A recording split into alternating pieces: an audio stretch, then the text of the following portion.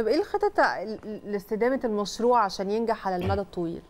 الخطة الأساسية إن إحنا تخرج الدولة زي ما قلنا من عملية الإدارة ولكن بيبقى دورها الأساسي هو إن هي بتنسق بتحط التشريعات بتراقب وبتخلي القطاع الخاص اللي هو القادر على إنه ي- يدير هذه المشروعات. إحنا طبعاً. عندنا شركات خاصة آه، يعني شغالة في ال- ال- ال- الموضوع ده بشكل كبير وناجحة جدا كبيرة آه، كمان. بالظبط. عندنا يعني ولكن بندعو برضو في تكنولوجيات إحنا محتاجين نجيبها لمصر زي معالجة ال- المخلفات الطبية.